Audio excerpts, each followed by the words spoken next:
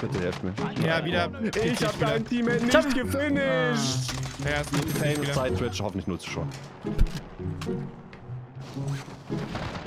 Willst du da etwa runter an der Leiter? Willst du da etwa runter? Das wird ja nix, Bro. Yo, moin und herzlich willkommen zu einem weiteren Video hier auf meinem Kanal. Das liegt auf dem Boden, nee, das triggert mich.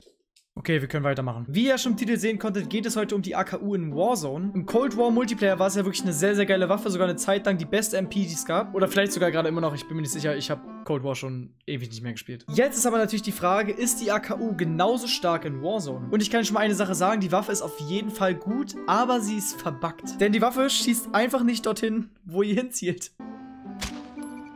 Ey, nein. Geld gesichtet.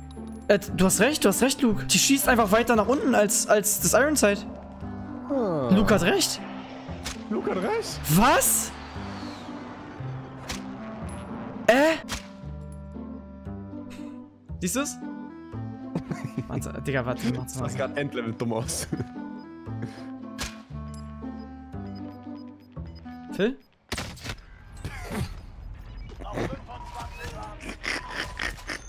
Es gibt mit den Cold War Waffen wirklich so viele Probleme und Bugs. Wie ihr sehen könnt, die AKU schießt einfach weiter nach unten, als sie hinzielt. Es gibt allerdings auch eine Möglichkeit, die ich erst viel später nach den ganzen Clips herausgefunden habe, wie man mit der Waffe doch auf die richtige Stelle schießen kann. Also ihr müsst quasi einen bestimmten Aufsatz drauf machen, damit die Waffe halt wirklich dorthin schießt, wo ihr auch hinzielt. Welcher Aufsatz es ist und generell, wie ich die AKU spielen würde, bzw. empfehlen würde, werde ich euch natürlich wie immer am Ende des Videos zeigen. Jetzt kommen natürlich wie immer erstmal ein paar Clips mit der Waffe und viel Spaß und wir sehen uns am Ende zum Klassensetup. Ähm, ich fahre jetzt mit Dingen close zu dir, einfach.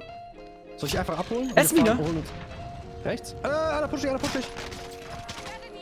Hat Esmina auf mich gesetzt. Was macht er hier im Treppenhaus? Mm -mm. Mm ja, ja, ja, ja. Besser ist, besser ist.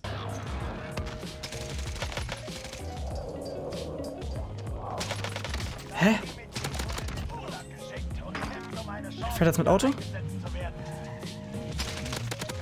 Hä, seid ihr dumm? Das ist er, das ist er, das ist er vor mir direkt, vor mir Ach direkt. so. Na, Alter, die AKU ist übergut. Hab ihn. Hä, habe ich keinen Sheepback bekommen? Hier hinter.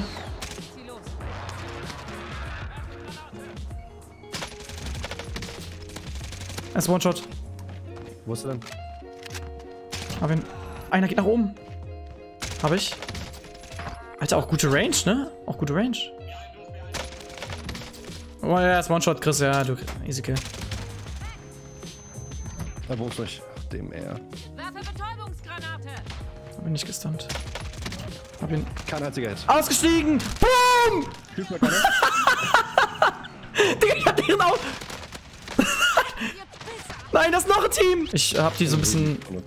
Ich hab die so ein bisschen unter Kontrolle. Abgehoben, dieser Felix, sagen alle. Ja, ich hab sie gar nicht unter Kontrolle. Ich dachte, ich bin so ein Dings, Das aber. jetzt das schnellste Gulag der Welt. Ja, ich bin äh, tot. hier auf Green? Er fickt mich, er pusht mich sogar. Nein, nein. Digga, wie kann man den Käse. Nein! Er hat mich übersehen! Er hat mich übersehen! Nein! Das glaube ich Wo ist er nicht. denn, wo ist er denn, wo ist er denn, Ich er hab ich er ist live, Mark. Du brauchst medizinische Versorgung. Er ist hier im Bedroom. Ach, er ist drin. Schnell, Chris, schnell, Chris, schnell, Chris. Ich. Krieg's nicht hin. Such medizinische Versorgung. Das glaube ich nicht. Nein! Ich hab die. Ich hab die. Sowas gab's noch nie. Chris hat keinen Kopf! Ha äh, Hasula, danke für den äh, Tier 3 Resub im siebten Monat. Chris hat keinen Kopf, aber wo habe ich den letzten meinen Schwanz reingesteckt? Jetzt ist er wieder da. Nee, jetzt ist er wieder weg. Meine. Ich darf keinen Drop holen heute. Hey, jetzt hat er wieder. Nicht so wirklich. L2 funktioniert nicht so wirklich. Jetzt ist er wieder weg. Hä? Ich hab ihn gleich. Ist nur einer oder was? Ich hab einen? Nein, sind zwei. Keine Ahnung. Hab beide. Ganz oben oder vorder? Einer gestunt. Nee, vorder. Abgestanden auch, hab auch gestanden. Hab einen. Nice. Einer noch cheatet, der ist äh, direkt hier. Ja, hab ihn. Hier ist der. Nice. Okay. Ich hab eine Drohne, ich mach die mal an.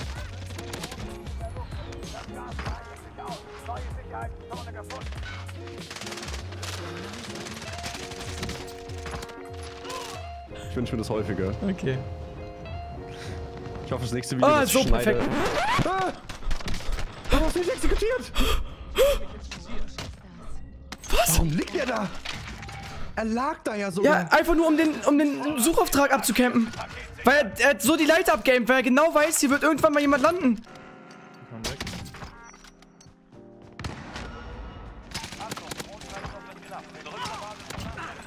Ich hab die. Gleich. Nein, Chris, klaut mir. Äh, was? Einer ist, äh, hab, Was? Granate ist raus. hab einen genockt.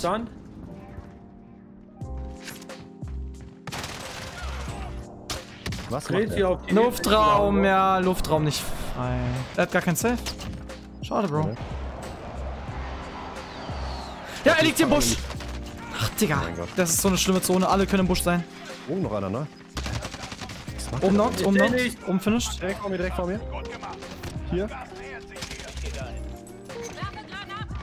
Na, Digga. Moment. Let's go, 17 Kills, yippie! Heute gab es tatsächlich auch gar nicht so viele Clips. Das lag aber daran, dass ich die AKU zu der Zeit gespielt habe, wo alle Leute nur mit der DMR gespielt haben, wo es noch gar kein DMR-Patch gab. Da war die Mac 10 auch noch viel besser, da war die Diamatti absolut geisteskrank. Also zur schlimmsten Zeit von Warzone quasi. Also zu dem Zeitpunkt war es nicht so nice damit zu spielen, weil halt alle Leute dich immer nur gebullshittet haben. Aber jetzt, wo die DMR gepatcht wurde und vor allem die Mac 10 und auch die Diamatti, kann man die Waffe auf jeden Fall spielen. Und wie man sie spielt, zeige ich euch jetzt. Wie ihr schon ein paar Clips sehen konntet, habe ich die Waffe sehr gerne mit der Tundra kombiniert. Die AKU ist nämlich eine sehr gute Allrounder-Waffe und Allrounder-Waffen kann man nämlich ziemlich gut immer mit Sniper kombinieren. Übrigens mit Allrounder-Waffen mache ich mal so Waffen, die halt für mehrere Situationen echt gut geeignet sind. Nicht nur für Close Range, nicht nur für Midrange, sondern quasi für mehrere Situationen. Das sind also generell Waffen, die meistens relativ wenig Rückschuss haben und auf Close Range und Midrange vielleicht nicht die besten sind von den Time-to-Kill-Stats, aber du kannst quasi beides benutzen. Weil die Waffe immer noch vergleichsweise trotzdem einen relativ hohen Schaden hat und du sie trotzdem für Close Range und für Midrange halt benutzen kannst. Also nochmal zusammengefasst, wenig Rückstoß, relativ viel Schaden, aber trotzdem nicht die beste Time-to-Kill von den Stats her. Aber man kann sie halt in den meisten Situationen gut benutzen. Solche Waffen sind immer sehr, sehr gut, um sie mit Sniper zu kombinieren. Dann benutzt man halt immer die Sniper für Long Range und halt die Allrounder-Waffe für Midrange und Close Range. Also wie gesagt, kann ich nur empfehlen mit einer Sniper und vor allem auch mit der Tundra. Die hat wirklich sehr, sehr viel Spaß gemacht und ist auch wirklich sehr nice. Ah, oh, Vierer-Team. Vierer-Team, Vierer-Team. Vierer-Team. Äh, hab ich gerade noch. Nein, hab ich gerade Digga. colettet? Ich glaube, ich habe colettet. Ey, Chris, Chris, ich hab einen Airstrike, ich hab einen Airstrike. Kannst Ich habe Airstrike- colettet, Digga. Ich habe Single to Colette gemacht. Dann hast du drei aber genau. Oh, F, Leute, was machst du gerade? Digga, was passiert hier? Ich sehe die nicht, Digga. Digga, was passiert hier? Was passiert hier? Hallo, YouTube. 200 gegangen. Nein, noch einer.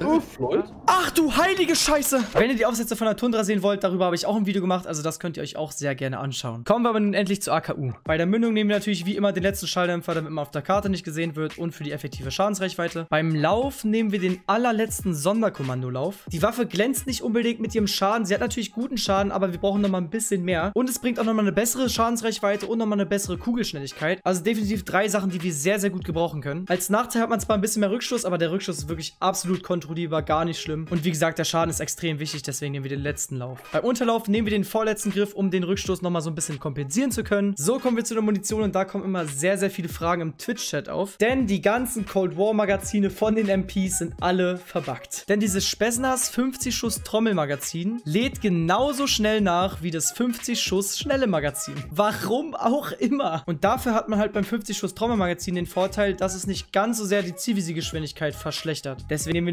logischerweise das Trommelmagazin, aber es könnte sein, dass es vielleicht in Zukunft irgendwann mal gepatcht werden sollte. Dann ist dann logischerweise das letzte Magazin am besten, aber zum jetzigen Zeitpunkt ist es halt nicht so. Deswegen Trommelmagazin. Als letztes braucht man jetzt den Aufsatz, den ich am Anfang erwähnt habe, damit man nicht weiter unten schießt, als man zielt. Und das macht man beim Schaft mit dem kein Schaft-Aufsatz. Dadurch verändert sich halt das Kim und Korn so ein bisschen und deswegen schießt man endlich mal auch zu einem Punkt, wo man halt hinzielt. So würde ich die Waffe, wie gesagt, auf jeden Fall auch empfehlen. Und zum jetzigen Zeitpunkt kann man die Waffe definitiv auch mit einer Sniper kombinieren. Ich würde sagen, zum Schluss vergleichen wir nochmal die Stats der Time to Kill von der AKU mit der Mac 10. Da sieht man ganz gut, dass die Mac 10 eigentlich auf so gut wie jeder Range besser ist als die AKU. Was man allerdings auch noch dazu sagen muss, ist, dass man derzeit auf der Webseite keine Aufsätze drauf machen kann auf den Cold War Waffen. Weil ihr wisst ja, die ganzen Cold War Aufsätze sind irgendwie alle bei jeder Waffe verpackt. Aufsätze, die das Nahkampftempo verbessern sollen, verbessern irgendwie den Rückschuss besser. Aber auch nur bei ein paar Waffen, also da stimmt wirklich vorne bis hinten absolut gar nichts. Deswegen kann man halt nur die Base-Stats von den Waffen miteinander vergleichen. Darum fehlt halt gerade auch der Aufsatz, wo man halt mehr Schaden macht mit der AKU. Das ist also gerade bei den Time-to-Kill-Stats halt nicht mit inbegriffen. Deswegen würde die AKU halt nochmal um einiges besser abschneiden, aber die Mac 10 ist natürlich trotzdem besser auf Close Range. Das ist ja, denke ich mal, allen bewusst, aber deswegen habe ich auch gesagt, dass es eher eine Allrounder-Waffe ist, die man mit einer Sniper kombiniert. Probiert es auf jeden Fall mal aus, schreibt es mir in die Kommentare, wie es euch gefallen hat und haut rein.